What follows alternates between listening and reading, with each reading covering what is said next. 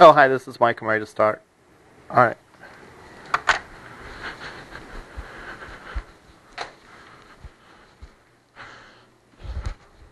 Okay. We're on the verge of doing great stuff in this class. Okay? Uh, a lot of times uh, at this point in the class, students start to feel uh, a little frustrated because they want to do more with the layout than we've covered in class so far. And again, depending on the student and just how frustrated they are, uh, I will either recommend them to, to look up something on W3 Schools or I'll give them an example in lab or, or whatever. But we're, we're almost at the point where we're going to talk about in much more great detail how to control our layout because all of our web pages so far, unless you've went off and done some things on your own, just are simply a sequence of one thing after another. Boom, boom, boom, boom, boom, like that. And for very, very simple sites, that's okay. But again, um, we want to use our layout to help organize the content on our page, to help people find stuff better, and so on. So we want to work to be able to exert control over the layout of our pages. As we move into that, an issue will become greater um, than it has been so far the, this semester. And so we're going to, before we get into that, we're going to take just a little diversion and talk about the problem of browser compatibility. All right? One thing to remember is you as a web developer have no knowledge, well, I won't say no knowledge. You have little control about how people are accessing your websites. In other words, I'm going to pull up websites on this machine here which is a Windows PC running Windows XP and I don't know, some version of Firefox and some version of Internet Explorer. All right? The next person that accesses that page might be running a Linux machine running Opera, the Opera web browser. Uh, next person that accesses a web page might be running an iPad using the Safari browser, and so on and so forth. You know, so you don't really have, you know, people can access the web from uh, any variety of different things. And really, that's the power of the web. All right? The web really is, is uh, essentially a, a, set of protocols.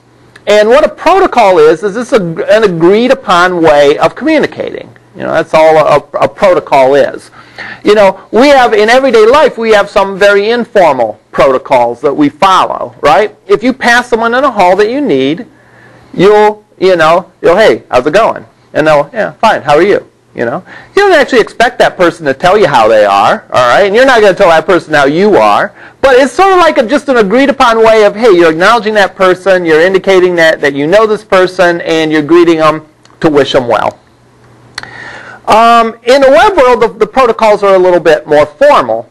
And so far we have been talking about the language, and, and I don't think we've mentioned protocols before, but we've done it sort of on a very informal way. Now we want to get a little more formal in talking about the language of HTML because we want to really know that the only thing as a web developer that we can know for sure is that whoever's accessing our pages is following a certain protocol. But we don't have control over what kind of machine they're using. We don't have any control over how big their screen is. We don't have any control over those things. And our job, and, and really our challenge, is to do the best we can to make our page look good regardless of the circumstances, regardless of the environment that it's being viewed in. Remember, when someone asks for a web page, they access a web server. The web server delivers that page to the client. So if I go to google.com there, a copy of that web page comes to my machine. All right? And my machine views it using a piece of browser software. That same thing would happen on my phone, on an iPad, on a Nintendo DS, on any other means of browsing the internet. All right? A request is made for a page, the page comes back, and the browser displays it. Well, we assume for the most part that the browser is going to get it right and the browser is going to display it the way that it was intended. But we can't guarantee that. What, why can't we guarantee that the browser is going to display things correctly? why is there the potential issue of browser compatibility issues? The issue of browser compatibility issues, whatever. That's a little redundant, but you know what I mean. Why do we have to worry about this? Well, who wrote web browsers?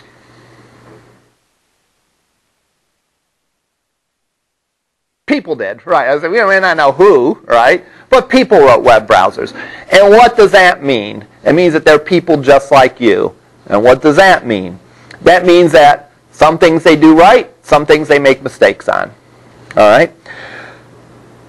The specifications for the languages and the protocols are developed by that organization called the W3 uh, W3C.org. Now that's different than W3 Schools. I mean, they took their name from, you know, uh, W3 Schools took their name from the W3C folks, but they're, they're different things. So the organization that, that creates these standards and creates these protocols is the W3C. And let's go visit their website.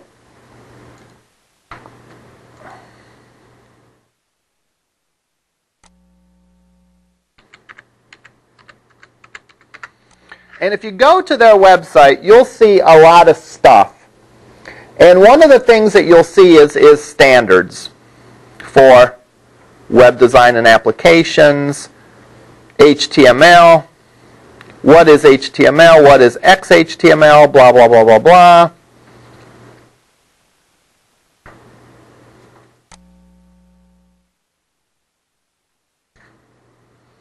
Somewhere here, we get the right link,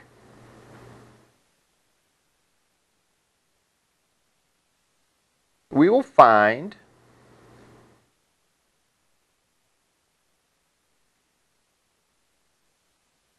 the specifications for HTML.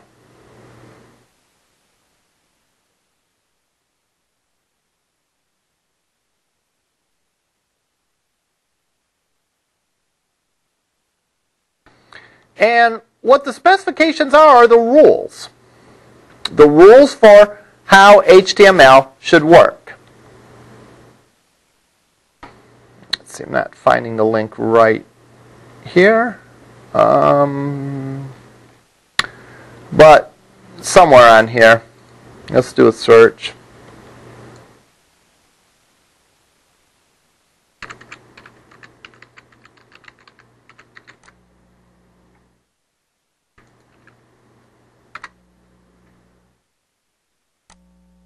All right, here's the actual specification for HTML. This is the rules. This is the constitution of HTML. All right, this is all the rules about what HTML is.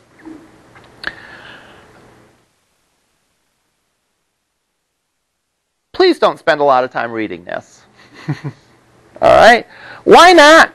Because this is written in a very formal language.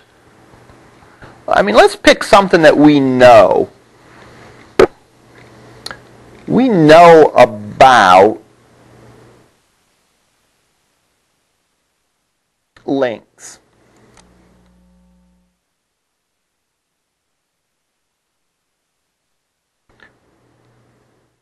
And if we read this, we'll see the language is very sort of technical and not necessarily easy to understand. Why is that? These pages, the specification, isn't meant for your average web developer. This specification is meant for the people that make web browsers so that they know how their web browsers should behave and how their web browsers should display some text. Now, What's the problem then? We have a couple problems. Problem number one, the people that write web browsers are human, so they may make mistakes. Number two, the specification is very long and complicated. So it could be it could easily be misinterpreted. All right? And number 3, the specification is developing alongside the people that are making the browsers. It's not as though all of a sudden the specification appears and then the web developers can take it and make a browser that, that uses it. For example, the specification for HTML5 has been being has been developed over a period uh, of years. Now, it's not done yet. So a browser maker can't guarantee that they're going to do everything in HTML5 because the specification isn't done yet. So as the, this group is working on developing the specification, browser work, uh, browser uh, makers are working on incorporating those features into their browsers. So you know, it, it's the, the, the, proverbial race with a moving finish line, finish line. All right, you're not going to know exactly how it is until the specification is finalized. So for those three reasons, all right, browser compatibility issues uh, exist. The, the people that make them are human. The specification is complicated and easily can be misunderstood. And finally, it's a, a moving goal, a moving destination in many cases. Now, here's the bad news about browser compatibility issues. The reasons for the browser compatibility issues don't matter at all. Why not? Because it's your web page, and your web page needs to work. All right? Could you imagine if your job, if you're hired by uh, uh, uh, um, some organization to develop their web page, and you know, you spend some time develop their web page and it doesn't work in Internet Explorer. And you tell the person that you're developing the web page for, well, I followed all the rules and, you know, there's a bug with the, with the browser. So that's why the page doesn't display correctly. Thank you very much. Can I have my money? You know, what are they going to say? Of course not. It doesn't matter the reason for the problem. The problem is you have to deal with the situation that you're in. You have to deal with the fact that browsers are imperfect. And you have to make your web page work as well as it can, even taking into account the fact that many browsers are imperfect. So, what strategy do you take? It sounds like a pretty grim picture. Well, it's not that grim. It is challenging at times. This probably is one of the most challenging aspects of web development. But there's sort of a twofold strategy you take. Number one, you make sure you're following the rules perfectly. All right? So that's the first part of the strategy is you do your best to follow the rules completely and make sure there isn't a problem with your code where you're misinterpreting something and doing something wrong.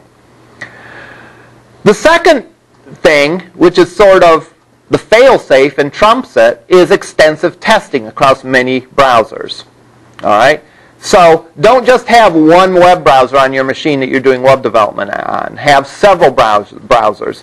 In fact, it's good if you can have access to several versions of different browsers because, again, even within Internet Explorer, not all versions of Internet Explorer will run the same. So therefore, it's good to have access to a number of different versions of a particular browser.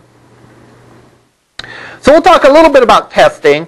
And one note about testing is it's a good idea not to wait till the very end to test. If you wait to the very end to test, you're liable to, you're going to find all your problems at once, and you're going to have a mess to go in and try to correct it. It's better to do a little bit of a coding, a little bit of testing, and so on until um, uh, that way, you, that way you find the problems as they occur, and you don't wait till the end and find a million problems. Now, following the rules. You might ask yourself, gee, we've been following the rules, haven't we? We've been coding. We've been doing what you've said in class. We've been following the book. That's true, but there's some things that, again, either we kind of skipped over or we didn't mention or whatever that now we want to take a closer look at. All right? How do we know if we're following the rules? Well, we could stare at the code and then go back and look at the browser specification and make sure that we followed all the rules. But that would be painstaking. That would be difficult to do. Fortunately for us, there are programs that do that work for us. there are programs that validate our HTML code and tell us if we've broken any rules. All right? What kind of rules am I talking about? Well, there's several different rules. And again, we've already, we've already talked about a lot of these rules. For example, a start tag should have an ending tag. So if I do this,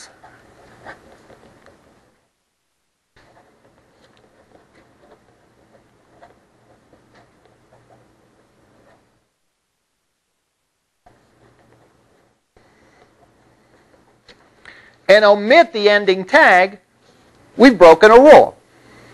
All right? What happens when you break a rule? It depends. Depends on what the browser decides to do with it.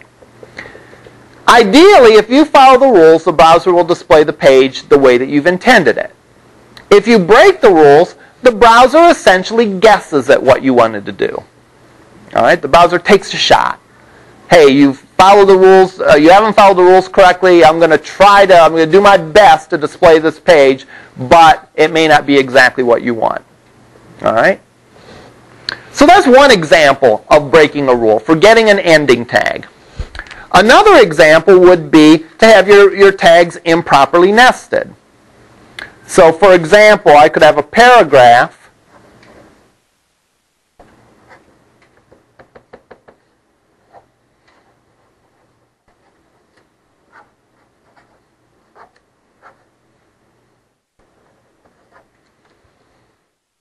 something like that. Those tags are improperly nested. We broke the rules. All right? The browser is going to guess at what you think you mean, eh, what, what, what it thinks you mean. And it may get it right. It may not. Or one browser may get it right, other browsers may get it wrong. All right? Another thing that's wrong is if you use uh, a tag in a wrong place. Now, this is something I've commented on some of your labs. Uh, I can't guarantee that I've caught them all. But, for example, right now in the head section, the only thing we should have is the title.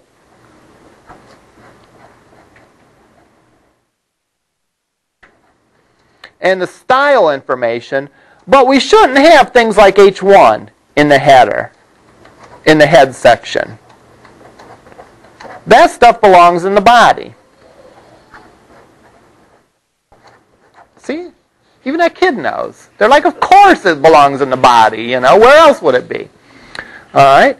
So if I have a tag in the wrong place, now I haven't necessarily talked about this in class. I, I may have mentioned it, or I may have mentioned on an individual assignment, but the validator, the program that we're going to run our code through, is going to catch this. Because if we break the rules, again, the browser guesses. Um, Let's see, uh, any others. Oh, if we have a tag and we leave something out. For example, if I were to have a head tag, an end head tag, and let's say I have a link to my style sheet, but I've omitted the title. One of the rules of HTML is that there's a title tag needed there. There needs to be a title tag. All right? So these are examples of the kind of things that you run into. Uh, other things would be like if you get the name of an attribute wrong. If I'm making a link and I say AH href equals, that's the wrong name for an attribute. All right? And therefore, I'll get an error. All right? So essentially what this does is think of this as being like the spelling slash grammar checker in Word.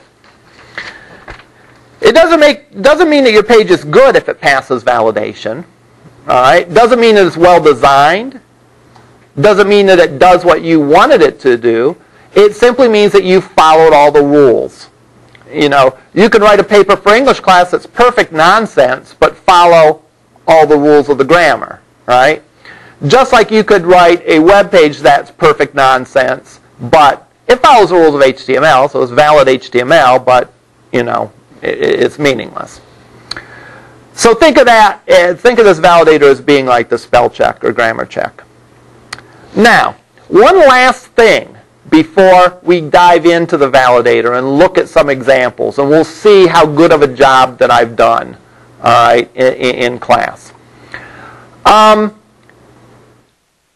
when we validate our code, we have to tell the validator and we have to tell the browser, we should tell the browser, which version of HTML we are using. All right? Because there's slight variances in how HTML is displayed and so on and so forth, and some things are legal in one place, not legal in another. So the idea is, is we have to tell the browser what rules we're following. All right, what standard we're following. And you do that through what's called the doc type or document type. And what I've done is I've gone in and I've posted to Angel the document type I want you to use in this class.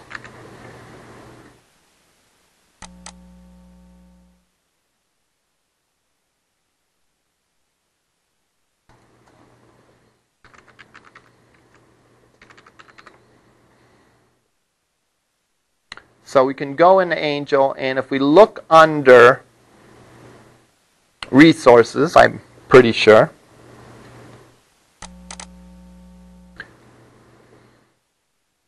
We'll see the doc type that I want you to use.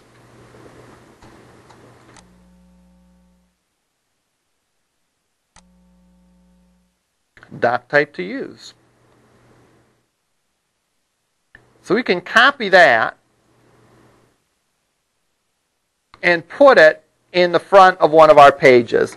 Let's take one of our pages that we've done recently.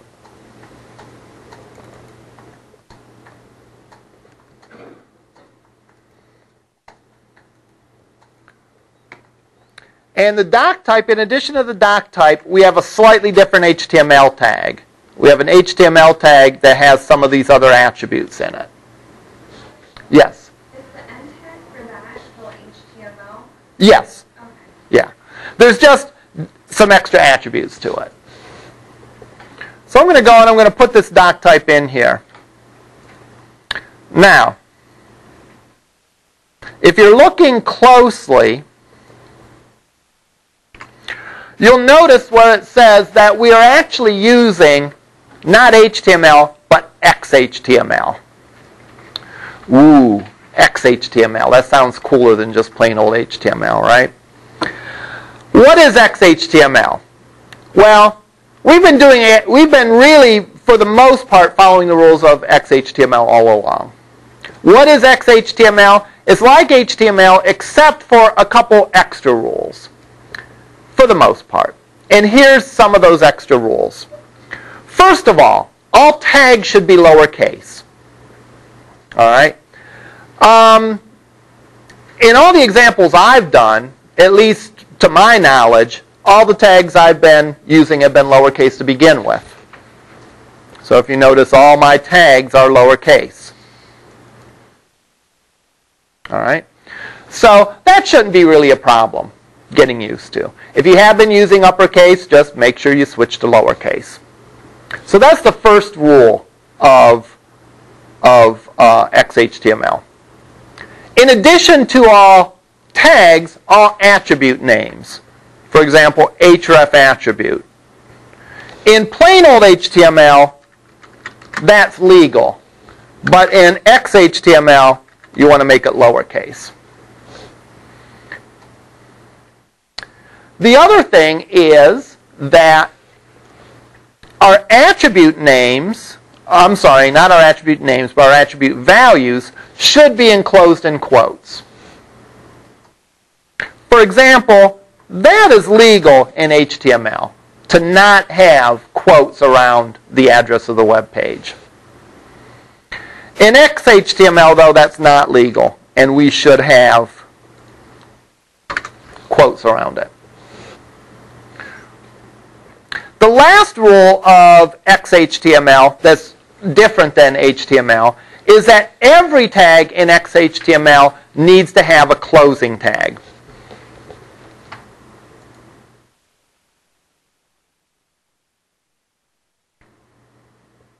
All right, every tag needs to have a closing tag. for example, let's look at this image tag. And I'll put it on two lines so that we can see it better. In HTML, I'd be able to do this and have my opening image tag and no ending image tag. And HTML wouldn't care about that. In XHTML, I need to close that tag, even if there's nothing between the start and ending tag. Between most tags, there's something between the start and ending tag, right? Well, with an image, there's really nothing between the start and ending tag. So XHTML says, well, yeah, you got to put the ending tag even if there's nothing in between it. So that's legal. I can also take a shortcut, which is what I normally do, and I can do that, which is a shorthand that says that this is both the start and ending tag rolled into one. All right, this is what's called an empty tag. All right, the start and end tag are rolled into one. All right.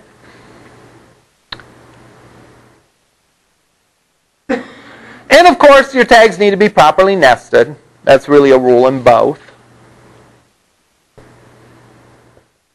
But if you notice, for the most part, I've been following these rules anyhow. Even though I haven't called it XHTML, I've been pretty much following these rules because I almost always type in lowercase the tags.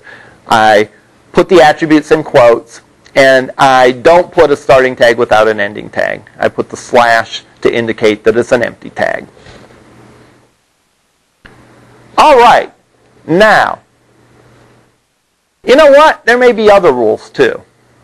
Remember that specification is long, all right, and it's complicated to read.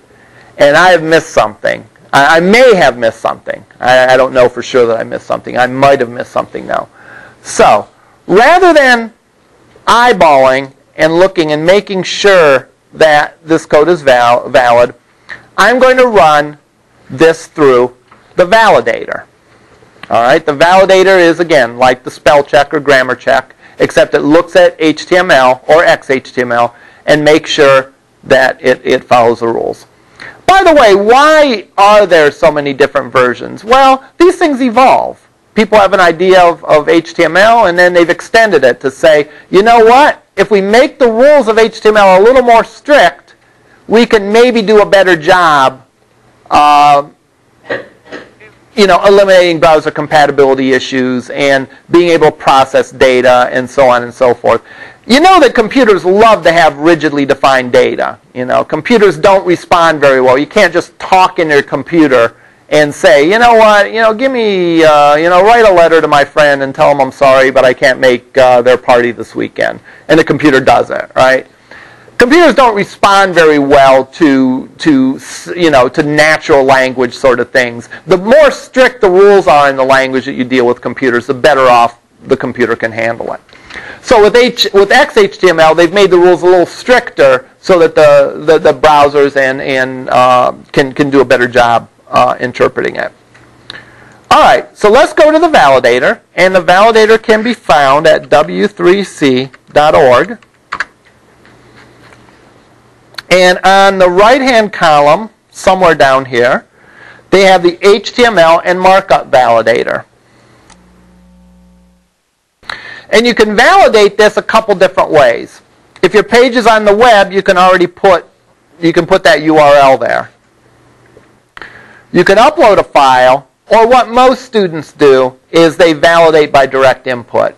By validate for direct input, you get this big box, and essentially you copy and paste your code into it. So I'm going to go and I'll copy and paste this code into the validator and run it. And yay, no errors. All right. The green line up here says that I passed without an error. Now there's two warnings here. The warnings you can look at, but pretty much you don't really need to worry about is essentially telling me that I, I'm not, um, oh, that um, there's no character uh, encoding information. In other words, I'm not telling what character set I'm using. Character sets are used like to uh, achieve, you know, in other languages, some of the special characters that they have. if this is a standard English, then this UTF-8 is sort of the standard character coding. Now, just like in, in grade school, if you do a good job, you get a sticker. If you do a good job validating your page, you get a little sticker, a little piece of code that you can include on your web page that indicates that your page was validated as valid HTML. Or in this case, XHTML.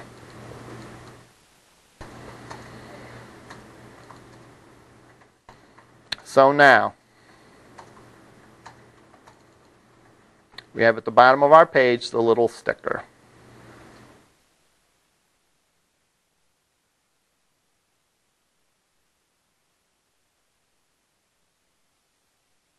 This says that we validated this and it's valid XHTML. A lot of times web developers like to put that on their page. That's almost like uh, uh, a slight sort of brag, you know. What that says is, is that says, hey, you know, I know that these pages should validate, and I took the effort to, to validate it. It's almost like, you know, I don't even know if they do this anymore, but it used to be, you know, the good housekeeping seal of approval, you know, or something like that. It's just a stamp that says, hey, this person cared, and they went through this process, and they validated the code. Yes? Couldn't you just copy and paste that on every page? Yeah, you could. Um, So like just lie. You, you, you, could, but you know, um, if, if someone took the time to look at your code and saw you did that, that wouldn't reflect very, very well upon you. You know, the people that that's going to appeal to are other web designers, right? Uh, you know, the general public's going to look at that and not have any idea what that means. So the people that that would appeal to would be uh, general web designers, and uh, they would be the people who would be have the capability to go and validate the page themselves. You know, you could just go and type the URL in and validate it and see, you know, if you were suspicious and see if it was valid or not. So, yeah, you could, but you don't really gain anything by doing that. Yes. Where did you copy that into the code? I just put it at the very end. It doesn't really matter where you put it. do make sure you don't break your code by putting it. I've actually had students do that, that they've copied the validation code, and maybe they put it like after the body, and oh, that's wrong. You just broke your code, all right, because it belongs as part of the body. Let's validate the other page in this example.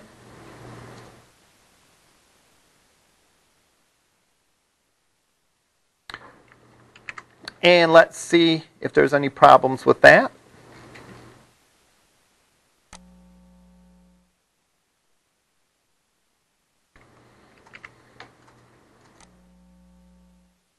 And there isn't. All right, I'm just too on the ball. I'll copy this code and we'll put it at the bottom of this page.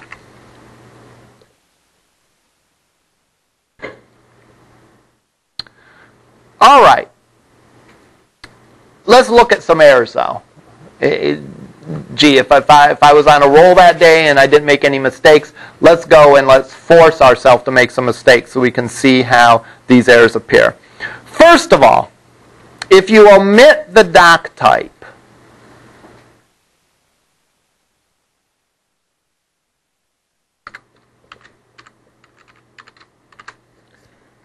let's say I, I forgot to put the doc type in. The validator, just like the browser, then it's going to have to guess at what doc type you probably mean. And the browser and the validator are going to assume that you mean sort of an older version of HTML.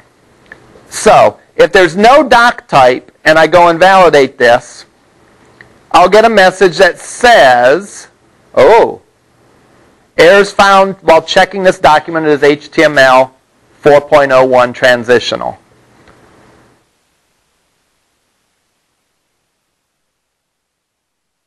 First problem it found is it can't find a doc type. So it's guessing at what you probably mean. So it's going to assume this older default 4.01 version of HTML. And therefore, it finds a problem with that because the HTML tag doesn't have the proper attributes to indicate that that's what it is. And it found a problem with my little slash greater than sign, which again, if you remember, is the shortcut to indicate that it's a beginning and ending tag all rolled into one. Um, because, um, again, this is uh, that's an XHTML thing. And then it doesn't recognize that as an end tag, so it assumes that that head tag is still open. All right, it doesn't realize that that link tag is closed because in HTML it doesn't recognize that. And because the head tag is open, it doesn't think that you can start the body yet. And again, it does not know that that slash greater than is valid because, again, it's HTML. So in this case, omitting the doc type really caused several different problems. And that's generally the case. One mistake in your code can show up as a bunch of different errors. So let's go and let's put this back to be XHTML and revalidate it. And you'll find that we have no errors.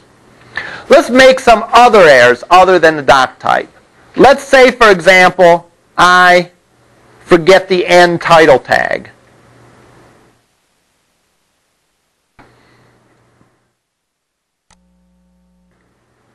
That one thing generated two errors. All right? The first error is it tells me it doesn't allow the element link here. Then the second thing it says is it found that it's missing the end tag for the title. Now that might seem a little confusing at first, and that's sort of par for the course. Until you get used to it, these error messages will be a little hard to decipher. But a couple things to keep in mind. One mistake can trigger a bunch of errors.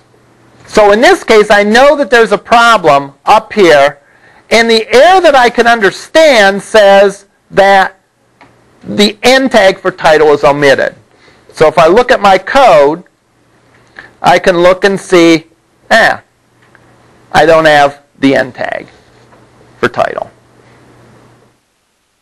Now essentially what happened is, because I have no end tag for title, it assumed that this link tag was part of the title. Which you can't have a link tag in the middle of a title. You just can't do it. Not allowed. And therefore that's where the second error came up. So if I put that back in, it clears up both errors. One thing to be uh, wary of is if you're correcting it in this text box, make sure you copy it back out and save that. So you don't make all your corrections here and forget to take a copy of it. All right, what if I make a capital H1? So instead of lowercase h1, which I'm supposed to do with XHTML, I uh, put in a capital H1. Well,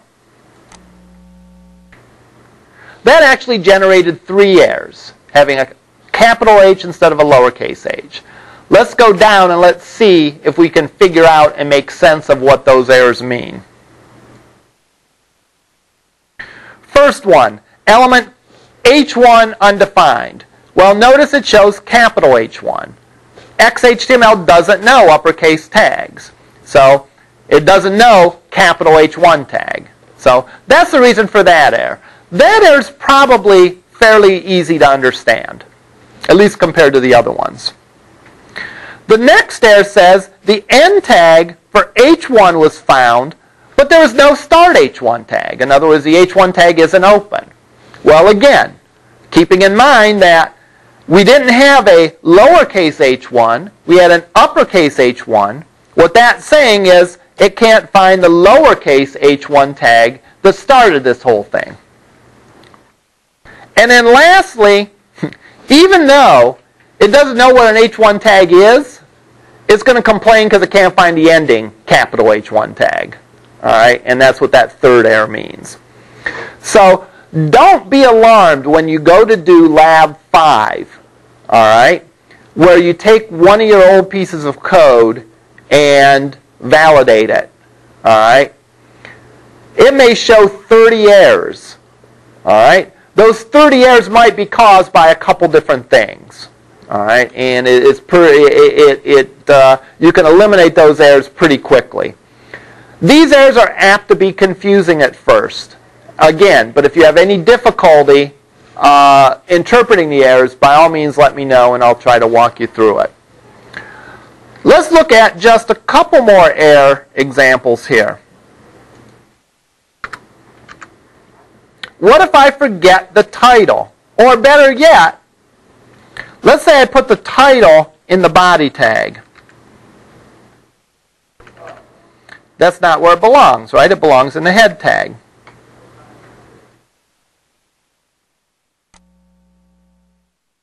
That generated two errors. I'm surprised. I thought we'd get more.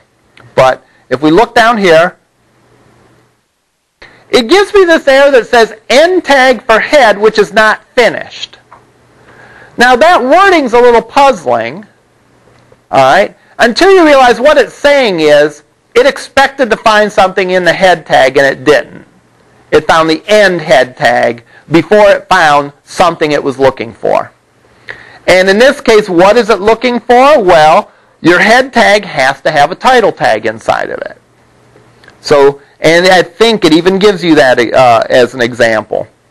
For example, in the HTML head tag, it must contain a title uh, child element.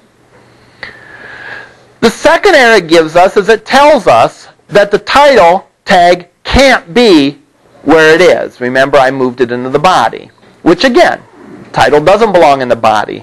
It belongs in the head.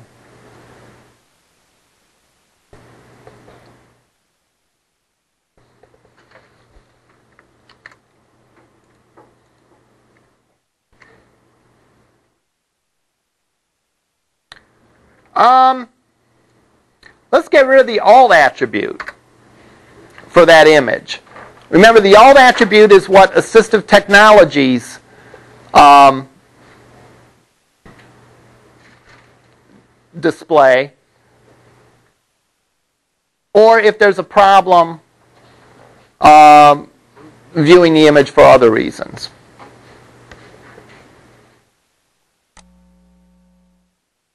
and it gives me an error, and the error says something along the lines of it required an alt attribute that wasn't specified.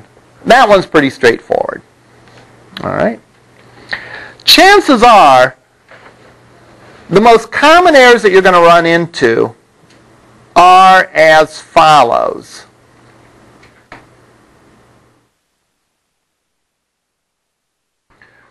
Capital tag names.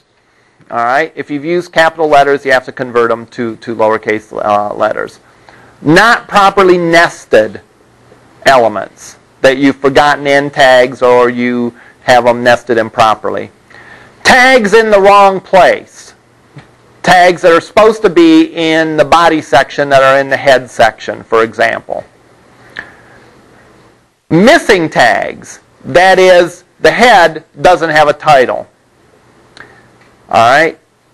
And lastly, maybe missing attributes. Things like forgetting the alt attribute on an image. Any questions about this? Yes? How often do you have to check for that HTML tag? Like obviously it says HTML 1.0. I mean, do you have to check every so often to change it to make sure you're up to date? Well, no, and, and that's actually the good thing. The, the question is, is how often do you have to change that to make sure it's, it's uh, up to date? Actually, you would never have to change it. Okay? Because look at it this way. That's telling me the rules that I wrote this under. So I wrote this, and this is valid according to these set of rules. HTML 1.0 transitional. All right? Now, five years from now, all right, they develop XHTML 2.0. All right? This still follows the rules of 1.0, right? And the web browser should be savvy enough to say, hey, this was written under the rules of 1.0, and therefore it's going to follow those rules. Now, to be sure, if you're talking about, you know, 20 years down the line, browsers may stop supporting old standards. Browsers may say, hey, we're no longer supporting such and such standard because it's ancient. All right? But you really don't have to go and update it because you've specified the rules that this is following. So therefore, the browser is going to apply those rules. Usually, um, it's not as though each version of the standard completely rewrites the rule book. All right? What each version of the standard usually does is adds a little bit of functionality and maybe adds a new tag or a new attribute or whatever. So it's not like if you did this for 1.0 when 2.0 comes out, it's going to be completely different. It's, it's going to be similar enough to, even if you chose to convert it to 2.0, you wouldn't have that big of a deal to convert it. Now the last thing that we can validate is we can also validate our style sheet code.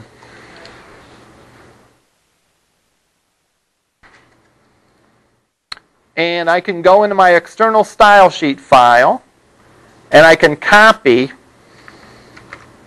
that code and I can go to the validator.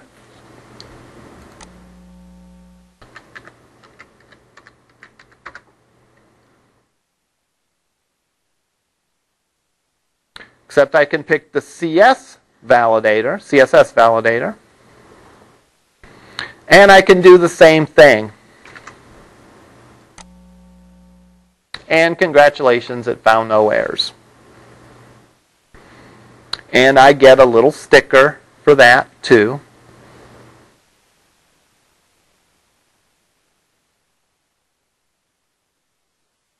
That I can include on my page.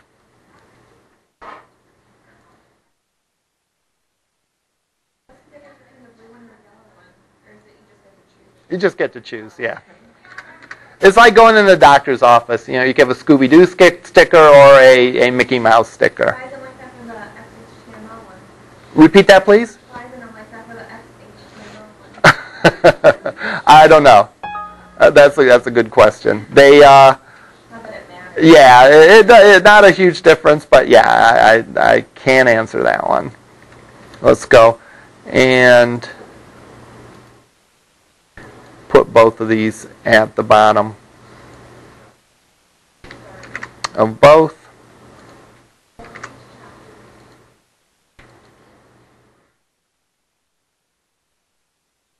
And now we have our two with our valid CSS and valid XHTML. I can almost guarantee that you're going to see errors that confuse you. And, and, I'm speaking both to the people in class and in, in the people um, that are watching this online. I can almost guarantee because until you get used to reading those error messages, those error messages seem to be very confusing and not necessarily very descriptive. Remember, this is a machine. This is a computer program that's trying to communicate with you. So it's not like, you know, to say, hey, you know, you forgot a slash here, you know. It knows that you forgot a slash because it applies a very systematic set of rules and, and it finds a violation of them. So it reports it as such. So until you've gotten used to reading those error messages, if you run into problems, let me know. You know, in lab, flag me down, ask me what the error is. Or if you're taking the class online, you know, email me the code and uh, I'll take a look at it and try to decipher the error message for you. One note again, you know, um, if you ask me a question like this, or really any question uh, about your code via email, it's always a good idea to send me the code. All right. Uh, sometimes I get students that will send me questions without sending the code, and it's almost impossible to, to answer those questions. I, they, they must have a higher opinion of me than deservedly so, because I can't figure things out without getting my hands dirty and looking at it. So um, if you run into problems uh, and you send me a question via email, please include the code. All right, we'll see you up in lab.